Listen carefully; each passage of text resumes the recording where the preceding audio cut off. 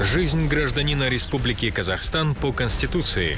Согласно главному закону страны от 1995 года, депутатом Мажилиса парламента можно было стать только по партийным спискам. Благодаря предлагаемым изменениям в Конституцию 2022 года, депутатом Мажилиса парламента можно будет стать как по партийным спискам, так и путем самовыдвижения по одномандатным округам. Депутатом всех маслихатов также можно было стать только по партийным спискам.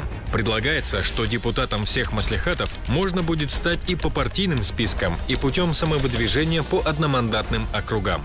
С 1995 года для создания политической партии требуется собрать 20 тысяч подписей. Согласно обновленной Конституции, для этой цели достаточно 5 тысяч подписей.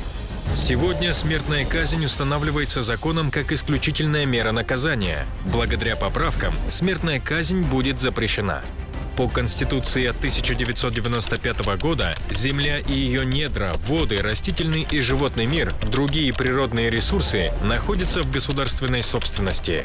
После внесения изменений в Конституцию все это будет принадлежать народу.